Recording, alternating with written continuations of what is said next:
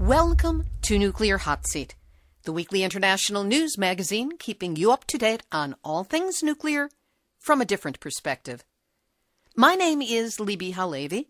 I am the producer and host, as well as a survivor of the nuclear accident at Three Mile Island from just one mile away. So I know what can happen when those nuclear so called experts get it wrong.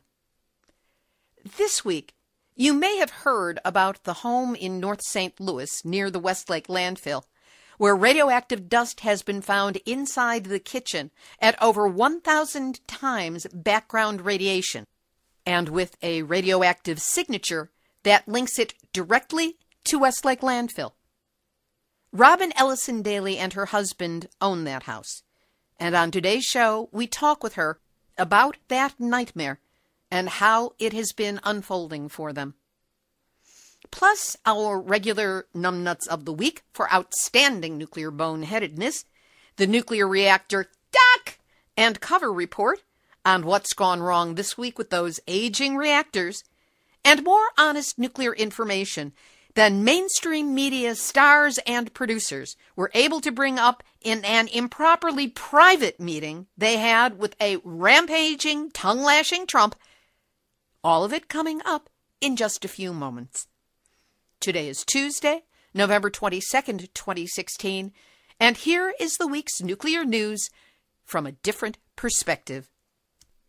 Starting off in Japan, where yesterday, November 21st, a 7.3 earthquake hit off the coast of Fukushima and generated a tsunami.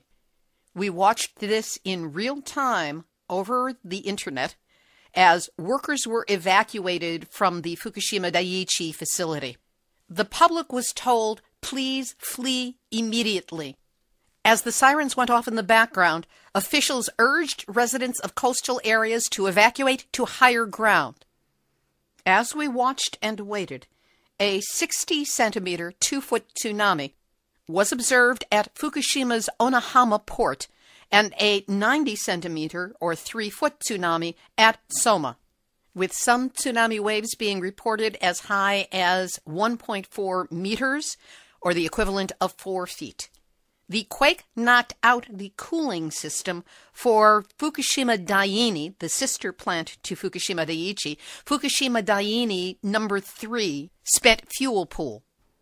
It took nine hours before the pumps were fixed at that spent fuel pool and operated again, during which time the temperature rose from 27.7 degrees centigrade to 29.5 degrees centigrade. Still within a safe zone, but danger is over 65 degrees centigrade, which is the equivalent of 149 degrees Fahrenheit. So, where was Tokyo Electric Power Company, TEPCO, operators of the demolished and still dangerous Fukushima Daiichi nuclear facility.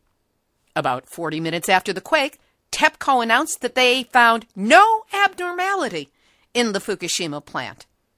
Only much later, on the evening of November 22nd, did TEPCO announce that the radiation monitoring post in the Pacific Ocean has been suspended due to the quake.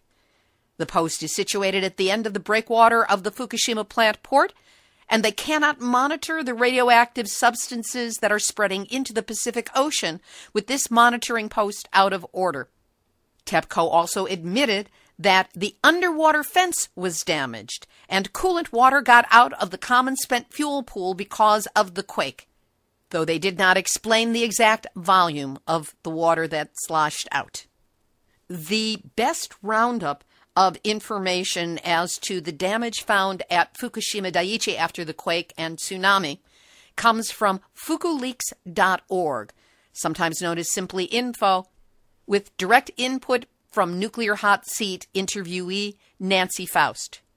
Their roundup article states that so far there is no reporting of the status of the storage tanks up on the hill behind the wreck of Fukushima Daiichi. There is major concern about the aging, bolt together tanks that are still partially in use. There have also been no reports of the status of the Unit 1 and 2 vent tower that has existing damage. Contaminated water transfer from the reactor building basements was stopped after the quake and was not resumed for nine hours. The same for reverse osmosis desalination system, which took nine and a half hours to get back online. The cesium adsorption systems required almost 11 hours to get back running. Both the north and south silt fences in the port were damaged, and these are devices used to try to keep small radioactive debris from leaving the port. How nice of them to have never informed us that there were small pieces of radioactive debris that needed to be kept from leaving the port. And the sea level at Fukushima Daiichi rose one meter. While the worst of the danger seems to be over, an official, not saying what he's an official of, but an official named Koji Nakamura warned Japanese broadcasters NHK that another quake of a similar scale could occur within a week, which may also generate a tsunami. In the first 24 hours after the initial temblor, at least 18 aftershocks, some of them sizable, have been recorded. We'll have more about this latest earthquake in Japan and what it means during today's final thought. Meanwhile, the nuclear spin cyclists continue to attempt to normalize Fukushima in the mind of the public. The president of the world's baseball governing body played down fears that the sport's top stars will refuse to play in Fukushima if the nuclear disaster hit prefecture hosts games at the 2020 Olympics. Olympics chiefs are currently considering a proposal to play part of the Tokyo 2020 baseball and softball competition in Fukushima Prefecture. Now, they've been working towards this for a while. The prefecture successfully hosted games at the Under 15 Baseball World Cup in the city of Iwaki this summer and World Baseball Softball Confederation President Riccardo Fraccari believes senior teams will not be deterred from playing there in 2020 should its bid to host games be accepted.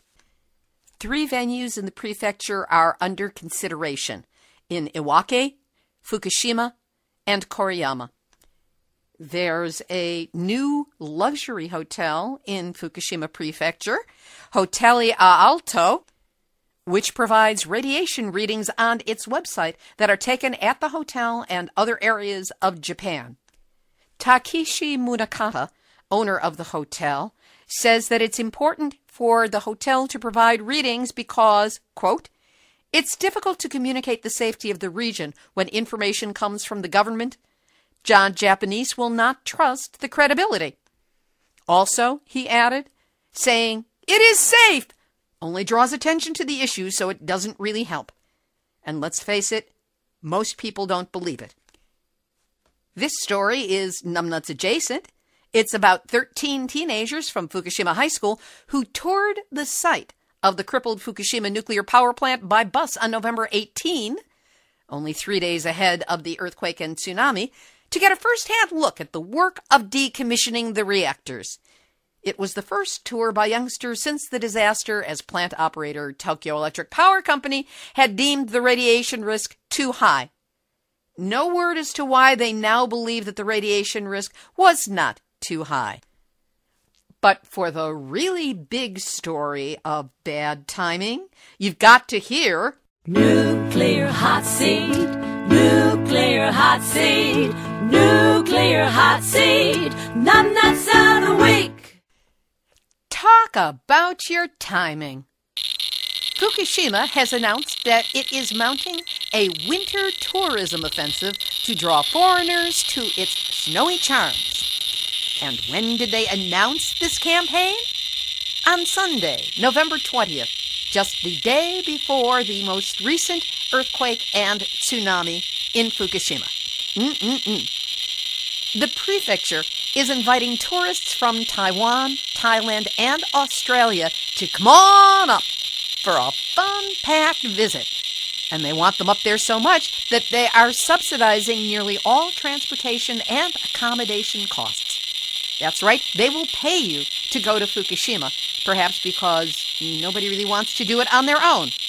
See, The purpose of the project is to promote Fukushima's name overseas as something other than a place where three melted down nuclear reactors are still out of control. They're hoping this little promotion of theirs raises occupancy at hotels and inns and bolsters jobs in the tourism industry. They're coordinating the work with their tourism offices. Yes, Fukushima has tourism offices in Taiwan and Thailand and is also coordinating with travel agencies. Participants can ski, snowboard, and have snowball fights in Fukushima's powdered snow in total ignorance of any possible radiation readings. Tourists will be invited to soak in hot springs. And who knows, they may even be opening up one of those spent fuel pools to give them a really hot soak. And of course, après ski, they'll have a chance to sample the local cuisine and taste sake from Fukushima, so popular at home and abroad. While most of the expenses will be covered by Fukushima Prefecture, epidemiological studies and medical tracking are not included. Oh, whoever dreamed this one up, let alone the day to launch it, you are this week's Nuclear Hot Seat. That's out of week. Over to the U.S. now, where there's good news for those people fighting against Indian Point who haven't been getting back to me for the interviews that I want to do so that I can do a feature on it. But be that as it may, in a unanimous decision, the New York State Court of Appeals has determined that the New York Department of State was correct in its determination that it has the right to review Entergy's federal license renewal applications as the company seeks to operate the Indian Point nuclear reactors for another 20 years. Judge Sheila Abdus-Salaam stated Entergy's current application for a license to operate the Indian Point nuclear reactors for an additional 20 years is a new federal action involving a new project with different impacts and concerns than were present with the initial environmental impact statements that were issued over 40 years ago. Indian Point's two reactors are now beyond the initial 40 year scope of their federal licenses one of the licenses expired in September of 2013, the other in December of 2015. So right now, they're driving without a license. I don't think you or I could get away with that for long, do you? Entergy's renewal efforts have been opposed by Governor Andrew Cuomo, who has consistently said that he believes Indian Point should be shut down due to the peril, whether from terrorism or natural disaster, or unnatural disaster, which is what nuclear is, implicit in its proximity to New York City. In North St. Louis, radioactive waste was confirmed inside a family home less than half a mile from the West Lake landfill, the site of radioactive waste tied to the Manhattan Project. Radioactive thorium 230 was found in dust in the home of Robbin Ellison Dailey and her husband Mike Dailey in the area of Spanish Village, a subdivision adjacent to the West Lake landfill. Karen Nickel with Just Moms STL says allowing people to live inside of homes that are contaminated with the world's oldest nuclear weapons waste is unacceptable and extremely irresponsible.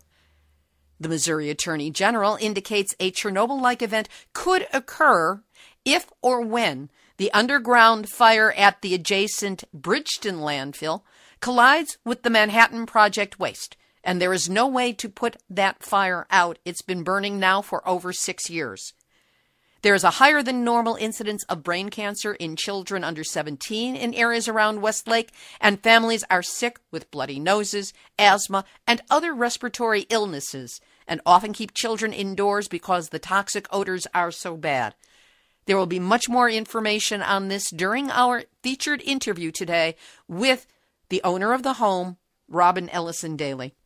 In Colorado, first findings in a health study identify clusters of illness in communities downwind from the former Rocky Flats nuclear weapons plant. Preliminary results from an ongoing health study suggest that residents who lived in communities near the Rocky Flats nuclear plant between 1952 and 1992 may experience unusual illnesses, including specific cancers that can be linked to radiation exposure. The survey drew more than 1,700 responses over seven months, which were analyzed for both health and geographic information. More than 40% of the reported cancers are classified as rare, meaning that they generally affect less than 15 of 100,000 people per year. The early indicators warrant more extensive research. The Rocky Flats plant was located 16 miles northwest of downtown Denver and only seven miles from Boulder, Colorado in Arvada. For almost 40 years, employees used plutonium to build triggers for nuclear weapons. Erica Gray of the Sierra Club reported that the Nuclear Regulatory Commission was having internet problems and unable to post its reports on failures and problems at nuclear plants. But just in time for Nuclear Hot Seat, the information was posted, so it's time for our duck and cover report. Oyster Creek in New Jersey went into hot shutdown on November 20th, an automatic scram during main turbine testing, which is an event or condition that results in actuation of the reactor protection system when the reactor is critical. At Indian Point in New York on November 21st, there was a service water leak inside the vapor containment building. At the Columbia Generating Station in Washington on November 20th, the reactor building exhaust air fan failed to, to start manually, which caused secondary containment pressure boundary to not be met. Don't worry about what it means, just know that it is an event or condition that could have prevented fulfillment of a safety function needed to control the release of radioactive material and accident mitigation. Fermi in Michigan on November 19. Secondary containment technical specification not met during high wind conditions.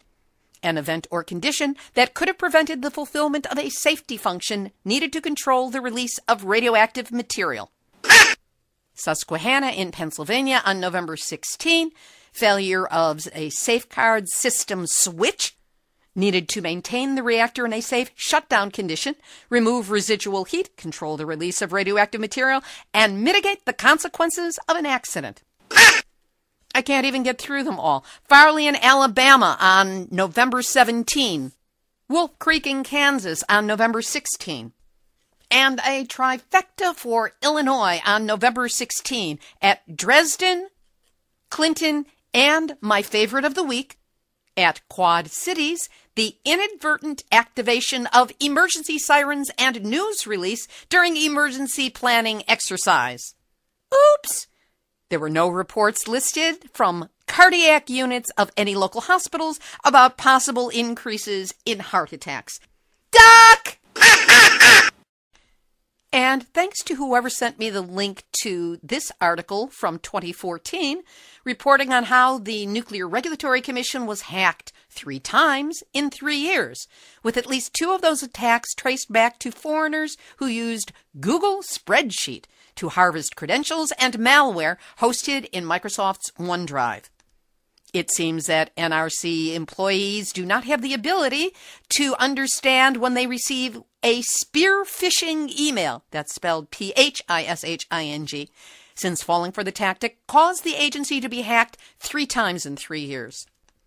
In one instance, a dozen NRC personnel fell for the trick, and in another, all it took was one. Keeping in mind that the NRC handles databases with the location and condition of nuclear reactors, radioactive waste, and facilities that handle weapons grade nuclear materials. Don't that just make you feel all warm and cozy and safe? Now let's move on to Ukraine, where Chernobyl is the big, big, big news. Or is it? The process of sliding the arched structure that is to be the sarcophagus around the sarcophagus and meant to shield the damaged Unit 4 of the Chernobyl nuclear power plant started on Monday, November 14. The arch, called the new Safe Containment, nice bit of branding there, is the largest movable land based structure ever built. It's meant to contain the still highly radioactive remains of that facility and was expected to take around 40 hours of operation spread over a period of up to five days to accomplish. It is now nine days later, and there is no word of the accomplishment of this structural feat, though there is a lot of wiggle language coming out from our pals who write for World Nuclear News. And now there's a report from Reuters saying that the arch will not be in place until sometime next year. We're working on getting that information for you and hope to have a report within the next week or two. Also at Chernobyl, two Chinese firms plan to build a solar power plant in the exclusion zone around the failed, exploded, hopefully soon to be contained by this new structure, Chernobyl nuclear reactor. Apparently, Ukraine has passed a law allowing the site to be developed for agriculture and other things. So, according to one Chinese manager who did not want to give his name because he was not authorized to speak to the media but did so anyway, that means the radiation is under control. I don't blame him for not wanting his name in this one. Vietnam's government has decided to dump its long delayed plan to build the country's first nuclear power plant because other energy sources have become cheaper and demand for power has slackened due to slowing economic growth. The government this week will submit its proposal to cancel the project to the country's lawmaking body, the National Assembly, which is expected to ratify it later this month, according to the official Vietnam news agency working on a story about this one, too. And the operator of Switzerland's nuclear reactors, Alpiq, reportedly offered reactors to France's EDF at no cost or a symbolic franc. The French, however, refused the offer. A sign of the times for nuclear. You can't even give one of those things away.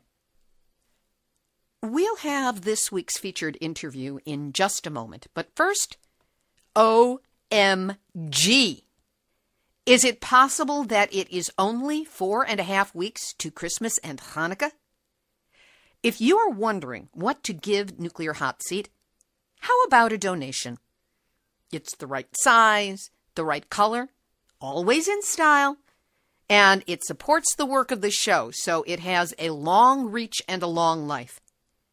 Any amount will help us keep expanding our reach and build listenership as we help activists around the world link together. So help us keep bringing you verifiable nuclear news from a different perspective. Just go now, right now. Hit pause, go there, do it, come back. The show will be waiting for you. But go to nuclearhotseat.com and click on the big red donate button. Whatever you can do to help, know that it is appreciated and you have my thanks and gratitude. Robbin Ellison Dailey is a member of Just Moms STL. She lives in Spanish Village, a subdivision butt up against the West Lake landfill in North St. Louis. Robbin's been in the news lately because she and her husband had their house tested for radiation. And what was discovered? Well, you'll hear more about it in just a moment. Robbin and I spoke on Monday, November 21st, not about our most recent Facebook topic, which is the attractiveness of letting one's hair go naturally gray, but the situation with her home and what it's like to be hit with that kind of news. Robbin Ellison Dailey, thank you so much for being my guest today on Nuclear Hot Seat. Well, thank you, Libbe. I greatly appreciate you reaching out to me because this is a very serious development that has just recently occurred around the West Lake landfill issue. Let's take this in a sequential order so that people can understand exactly what's going on and exactly what it means.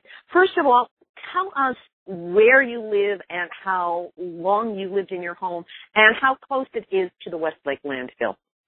I live in a small subdivision of about 92 to 98 homes. The name of the neighborhood is called Spanish Village. It is located in a suburb of St. Louis, Missouri, which is called Bridgeton, Missouri, and that little subdivision is located 0.42 miles south of the West Lake landfill, Bridgeton landfill. How long have you been aware of the problem with nuclear materials illegally and improperly buried at the West Lake landfill? Well, my husband and I, along with our 15 year old son, moved to this community in 1999. And at that time, we were totally unaware, and we just went about our lives of working and raising children until about 2011. We saw a young local woman on television speaking about a fire in the Bridgeton landfill. And she also said when she was explaining that that the Department of Natural Resources for the state of Missouri told her that the underground fire was the least of her concern because she needs to also worry about the radioactive waste that is in an adjoining landfill at the West Lake landfill. What was your feeling or your response when you saw this interview? Mike and I, my husband and I, we were just shocked. We looked at each other. We looked at the television. I turned back to Mike and I said, what in the hell have we just moved ourselves into? I never heard of such a thing. I'm from the St. Louis region. I was born and raised here. It's a dirty little secret, this St. Louis Rad Waste legacy. And now I'm living less than a half a mile from it, and it has become a cause that I and my husband are fighting for some answers for and to eradicate it. How did you become involved in this issue in a larger way, and how did you become part of an activist response to it?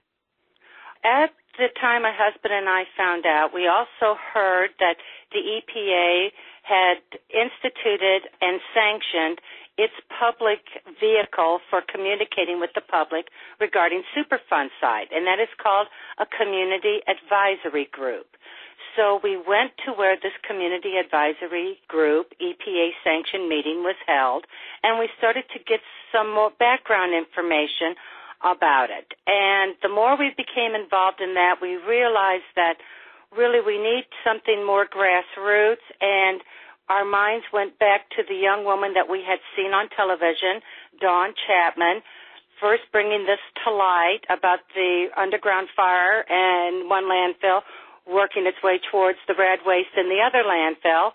And Mike and I decided that we need to check with this Just Moms STL organization that seemed to fit more our leanings than EPA because you have to be very subdued and mind your P's and Q's.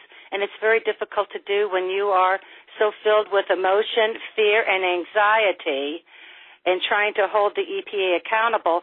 So that's when we decided to find more information about Just Moms and get involved with those ladies. And we have been ever since. What were some of the things that you've done through the years with the Just Moms group? Oh, we have done numerous things. We have gone to Jefferson City to speak on behalf of state legislation that was going to be written that would have benefited the corporate polluter that is owning the landfill, uh, Republic Services. We've also been to Washington D.C. We have We've done pickets and informational protests. We've also done a petition drive and delivered 12,000 signatures to our state governor who has ignored those entirely and never acknowledged receipt of them. We have done a lot. Tirelessly, these women have devoted themselves and taken away time from their families to give presentations regarding this rad waste history, how it was processed, how it was illegally and carelessly stored and improperly handled and disposed of in a landfill. It's quite amazing when you see this presentation. It really brings to light how this contamination wound up being over uh, a uh, hundred sites in the St. Louis region. They have spent long, dedicated many, many, many hours for several years, and my husband and I are trying to help them continue to spread the word and support them as much as we can. In this period of time, have you felt any satisfaction with response from either the government, the EPA, your local government officials? Or Republic Services. Has anyone acknowledged the problem and taken steps that you would say are in the right direction to coming to some kind of resolution for you and the others who are trapped in the situation? It has been very frustrating to say the least, trying to learn what a federal agency whose main objective is the protection of human health and the environment is not what this old 60s, 70s hippie gal would have thought she would have been getting involved in. It's much more complicated. It is not all kumbaya, we hear you, we're here to support you. It creates a lot of frustration and miscommunication and and as far as them hearing us and being responsive, it has its moments of clarity and its moments where it's not so good. And Republic Services, they need to step up and take responsibility for this site that they have bought and they have been managing. They knew full well the history of this site. They have a fiduciary duty to their stockholders. They didn't come into this not knowing and just making a willy-nilly decision. This was a carefully crafted decision and therefore we want to hold them responsible because they are a responsible party of this disaster uh, waiting to happen down there. And we just need more accountability and more transparency. And it seems the more involved we get, we have very small successes. We mostly have a lot of frustration and feel like we're back to square one again with the EPA as well as Republic. How did you learn that you had radioactivity? I believe it was first discovered in your backyard. Yes, this community has had its fair share of law firms coming and going, seeking clientele for lawsuits which have been settled out of court by Republic Services. So they have also, you know, tied up a lot of these people with those settlements to be hush hush and they can't uh, talk of, against Republic or anything about them any longer. So another radiation global environmental law firm came forward and they seem to be able to have the ways and the means rather than being a personal injury law firm. This one is one that really is, is a big gun. And when they came to my husband and I saying that we can surely help you, we have the ways and the means to get this testing done at uh, credible and credentialed third party sources for testing. We were hesitant because we've been through the lawyer trolling before, but this one was a much different. This one was not what we had seen in the past. So we took them up on their offer and then they brought us these results which we had always held in the back of our mind that this was a possibility and yet we hoped and prayed that it would not be the case, that it would show positive for radioactive contamination, but we were willing to accept whatever the results were.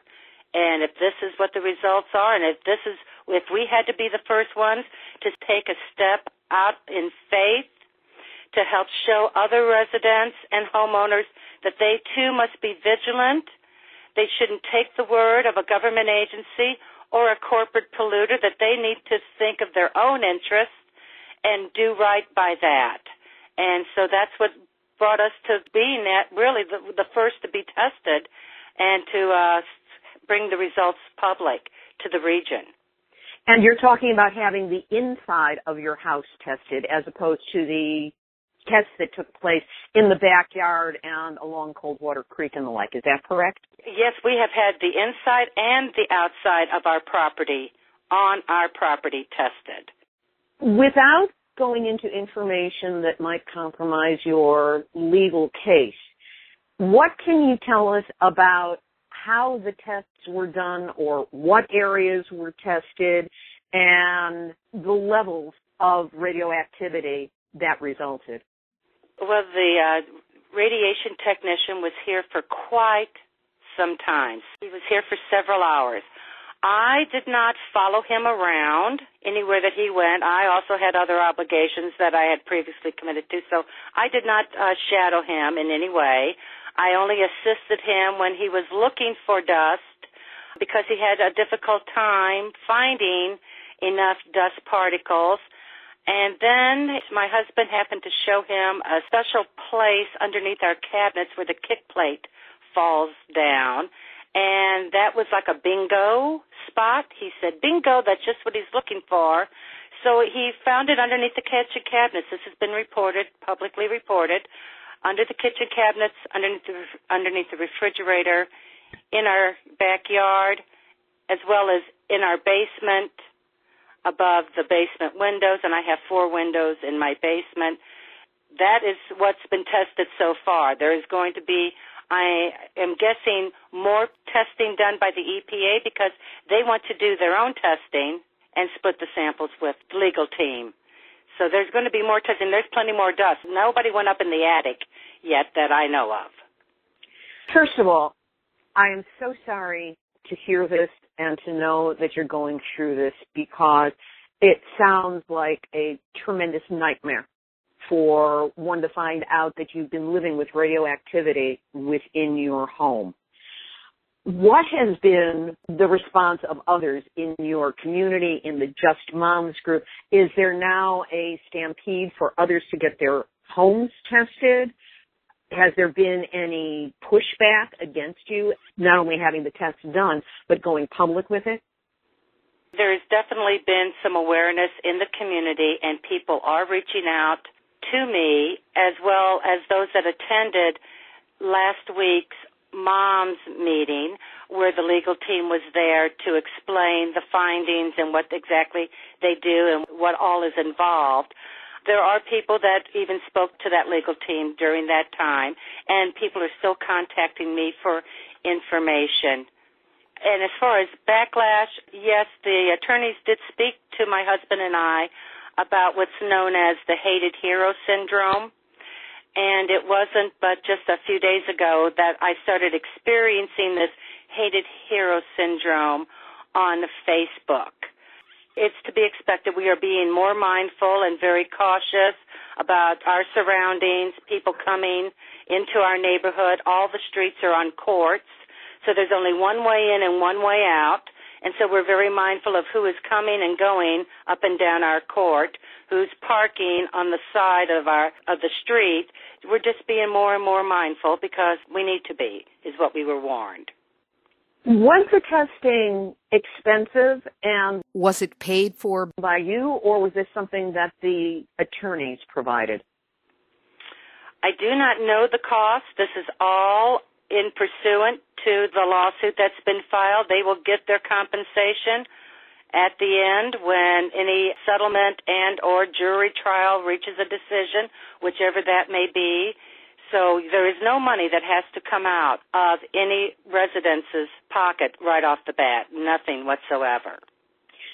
Tell us about the lawsuit, what you can of it. Who is it against and what are you asking? It's against nine defendants mostly that have connection to either the processing of the uranium or in some way or fashion involved with the transportation of the rad waste that was illegally dumped here and the current uh, landfill owners and any subsidiaries of theirs. So it's quite an extensive lawsuit. They're seeking all sorts of damages you know, uh, pain and suffering, loss of home value, medical monitoring, you know, just the egregious way that this stuff was handled. And homes were built around it, and it was dumped there while this subdivision was even being built. So there's a lot of negligence all the way around, and it goes high from high to low. But we've got the primary players that were involved in this since uh, 1945 to 1970 and to present time. When did you find out the results of the testing? And how long between then did it take for the story to go public, as it has very widely, especially in the St. Louis area, though I've seen it on national media as well? It has been a couple of months since I was told that the results were in, and then about a month or so after that, I was told the specifics of the test results and then a month after that, then we filed the lawsuit and have also gone public to the media. All in all, of all about 60 to 90 days at the most. Speaking of the media, how has the coverage been? Has there been empathy for you or sympathy? Has it been accurate or have there perhaps been other attitudes coming in? The St. Louis media has been very well receiving of this news. They have been very cordial, very respectful to my husband and I when they have come. Some of them I have spoken to before for interviews in previous years. So we do have a relationship. Some of them are new because some of the other reporters have been moved to other beats and so we lose contact with those. But all in all, it's been a very good response.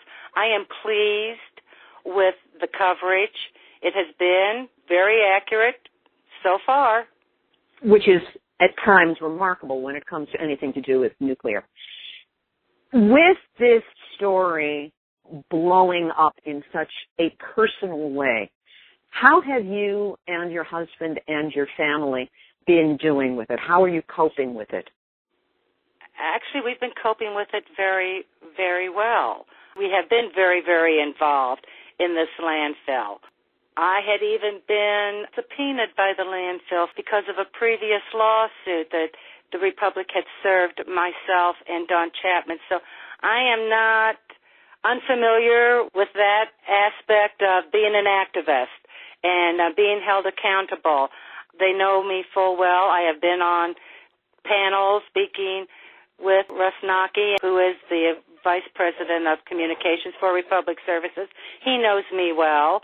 He knows where I stand. I make no bones about it. So we've been handling it very well. I still continue to do what I do.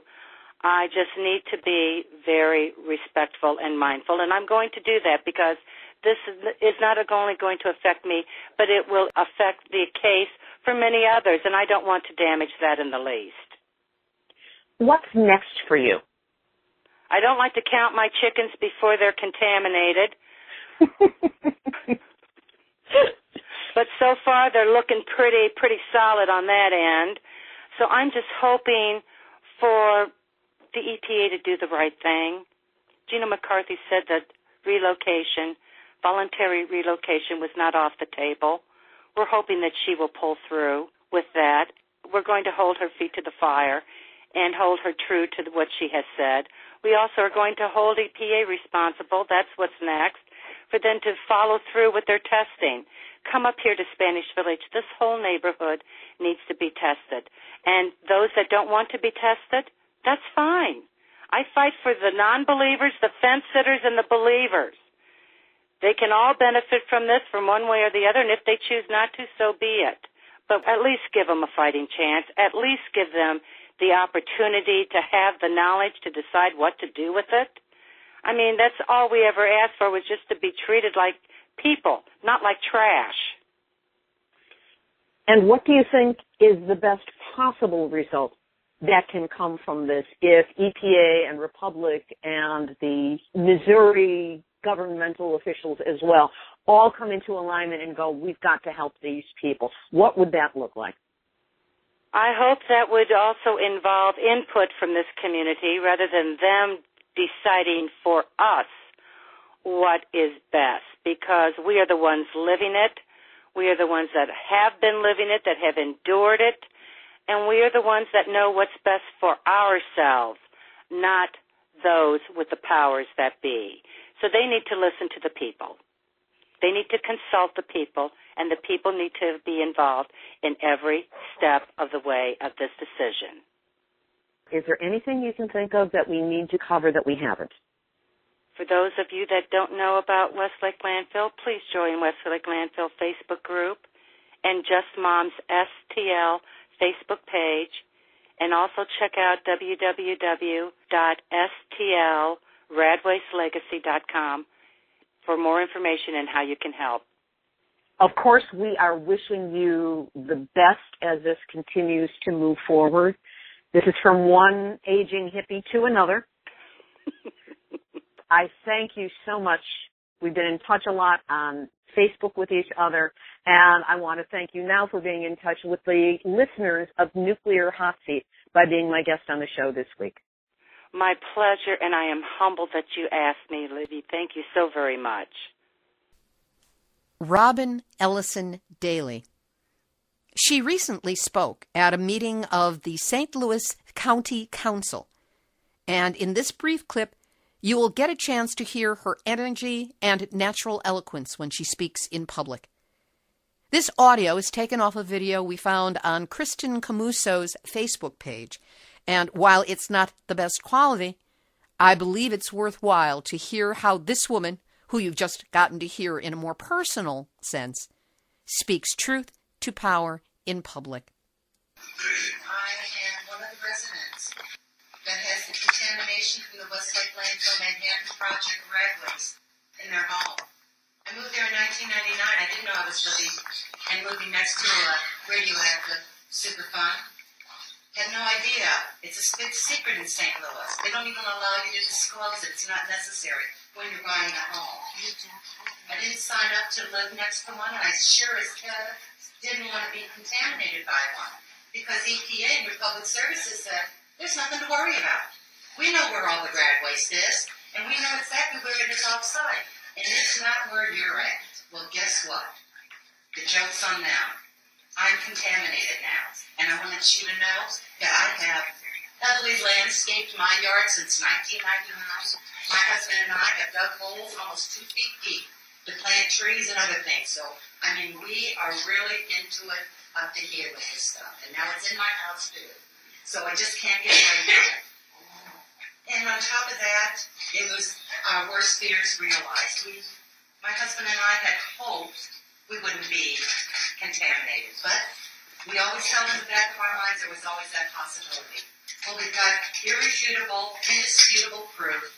This isn't thorium that can be found in the United States. It has a monzonite signature, which is a fingerprint, a DNA, that traces it all the way back to Shinkolobwe mine in the Belgian Congo. Now, there's no way in H-E-double-L I got that from anywhere but the West Lake landfill, because that cannot be had on these United States soil. So all I can say is here's the place of contamination and we were constantly told not to worry about it. My government has failed me. The EPA has failed me. I look to the council. We have to start at the county level. My God, my own Richmond council and my own mayor could really give two boots about it. I've been shut down by the previous mayor speaking about it at a council meeting. We're referred to as those people, those people up there that are bringing trouble into our neighborhood, stirring stuff up, giving Richmond a bad name. Richmond gave themselves a bad name. By continuing the silence, it creates the apathy and it perpetuates the lie. And the lie continues and the homes get sold and the unsuspecting homeowners keep coming and coming and coming.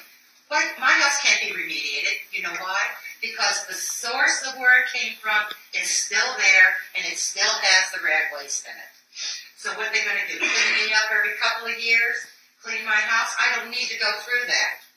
I'm 61 years old for crying out loud. I moved to Bridgeton to retire, and this is what I retired into. So that's my sad story. I'm looking for some help. I'm looking for more than, you know, we're really sorry. I, I know you're all sorry, and that is a genuine feeling. But I've heard enough of that. I feel like we're sorry, pat you on the fanny, send you on your way. But thank you very much for listening to me. We are a hurting community. Not everybody wants to leave, but I do. That was Robbin Ellison Dailey speaking before the St. Louis County Council.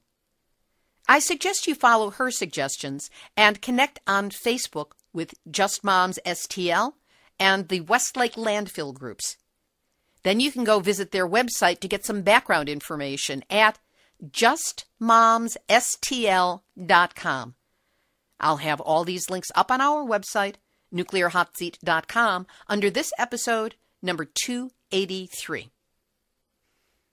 Activist shout out! My gratitude to the contacts and friends who reached out immediately as yesterday's Fukushima earthquake first hit. Our European special correspondent Sean Arkwright, Patrick Wilson of Activate Media, Kimberly Roberson of Fukushima Fallout Awareness Network. You were the first three to get to me. And then there are all the rest of you who sent links to live streaming news sites, news articles you found. It was really a community response that helped me follow what was happening. This is the kind of networking that allows me to cover the nuclear news quickly and specifically. You are my eyes and ears on the ground wherever you go. So thanks to all of my special correspondents, and that includes you.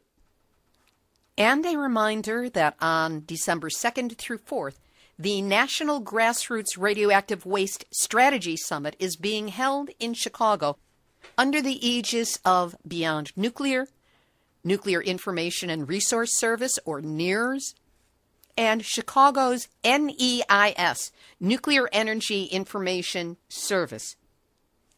NIRS has been running a series of three webinars to give background information on the issues that are going to be discussed, and they're a great grounding in learning exactly what we're up against with the terrible amounts of nuclear waste that are out there, just waiting for all future generations to have to deal with.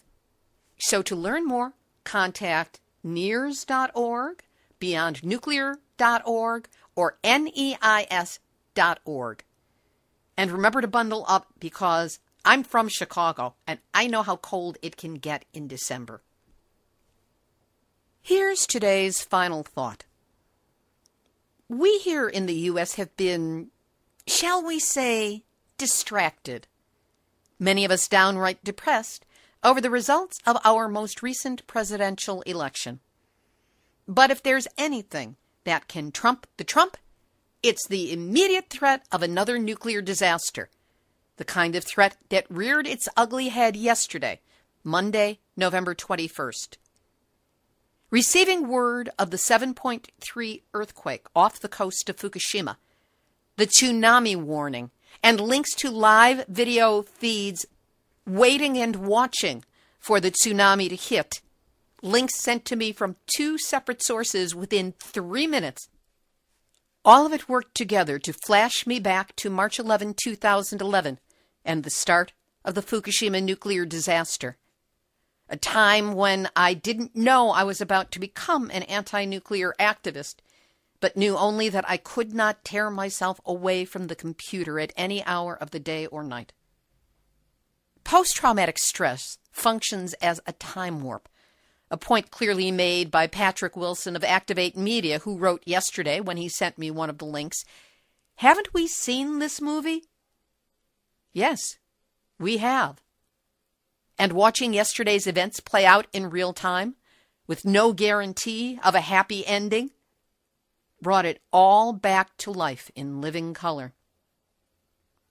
Even though the results of yesterday's earthquake and tsunami are nowhere near as devastating as what happened a little more than five and a half years ago, let's consider the unavoidable facts. Japan has had another major earthquake off the coast of Fukushima. This earthquake generated a tsunami that hit in multiple places up and down the Japanese coast, with some of the waves measuring up to four and a half feet. Those terrifying whoop whoop sirens sounded again, loudspeakers blaring warnings to the people to evacuate, take cover, stay away from the water. It was terrifying. And if I can be triggered 5,300 miles away, I cannot imagine the terror of those in Japan, especially in Fukushima Prefecture, especially near the coast. Now, 24 hours later, I watch the spin settle in. Japan called the quake at 7.3 when it happened and later upgraded it to 7.4, while the U.S. Geological Service downgraded it to a 6.9. You know, 6 is so much less frightening than 7 when you talk about earthquakes, don't you think? And that, of course, is what United States mainstream media is reporting a 6.9. TEPCO announced that there were no problems at Fukushima Daiichi because of the quake, and they made that announcement only 40, 40 minutes after the quake happened. 40 minutes! They must have a fortune teller, a soothsayer, a seer on staff who looked into a crystal ball and said, eh, no big problem. Of course, I'd fire that soothsayer in a minute because not one word was said at that time by TEPCO of a spent fuel pool where the pump shut down. That there could be cracks in welds and bolts of the tanks holding more radioactive water. Two silt fences who even knew there was such a thing? But two silt fences meant to contain radioactive particles in the port were damaged. The water pumps shut down at Unit 3 of Fukushima Daini, but yes, they went online after nine hours.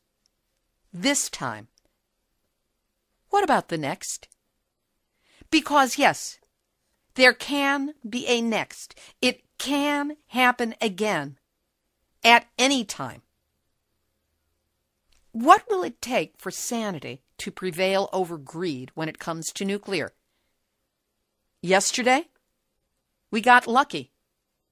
It was, as best we know at this moment, a near miss on a larger disaster. And because it wasn't over the top horrific, we'll quickly be manipulated into thinking it was no big deal, no one was hurt, Nothing was destroyed. It's all fine. Blah blah blah. And let's build that new luxury hotel in Fukushima and entice foreigners to ski the Fukushima slopes and send school kids on bus tours through it all to write reports for their classes and convince everybody that nuclear is great and safe. And hey, what about those Olympics? But you know, something did happen and something else can, and inevitably will. One day, or the next, or the one after that, or the one after that. This has been Nuclear Hot Seat for Tuesday, November 22nd, 2016. Material for this week's program has been researched and compiled from miningawareness.wordpress.com, fukuleaks.org, NHK, The Guardian, ENEnews.com, RT.com, TEPCO, newsonjapan.com, Asahi.com, JapanTimes.com, TimesUnion.com, St. Louis Post Dispatch.com, STLToday.com, MSUDenver.edu, NetworkWorld.com, TheAtlantic.com, Reuters.com, WSJ.com, EnergyTransition.de, Dr. Gordon Edwards, the poor, deluded, karma challenged copywriters at World Nuclear News, the Nuclear Regulatory Commission, and the resolute planet protectors who gather at the Nuclear Hot Seat site on Facebook, which you are all invited to like so that you join us and share our posts with your friends and family. Theme music written by me, sung by Marilee Weber, accompaniment by John Barnard, recorded at Winslow Court Studio in Hollywood. If you have a story lead, a hot tip, or a suggestion of someone to interview, send an email to info at nuclearhotseat.com. We are copyright 2016, Libbe, HaLevy, and Heartistry Communications. All rights reserved, but fair use allowed as long as proper attribution is provided. A reminder that your support is the lifeblood of Nuclear Hot Seat. So if you value verifiable news about nuclear issues delivered with just the slightest hint of humor, please consider helping us out with a donation. This is Libbe HaLevy of Heartistry Communications, the heart of the art of communicating, reminding you that Nuclear Hot Seat is downloaded in 112 countries. So, yes, the activists are linking so let's all get to work and not go back to sleep because we are all in the nuclear hot seat. Nuclear hot seat. What are those people thinking? Nuclear hot seat. What have those boys been drinking? Nuclear hot seat. The corium is sinking. Our time to act is shrinking, but our activists are linking. Nuclear hot seat. It's the bomb.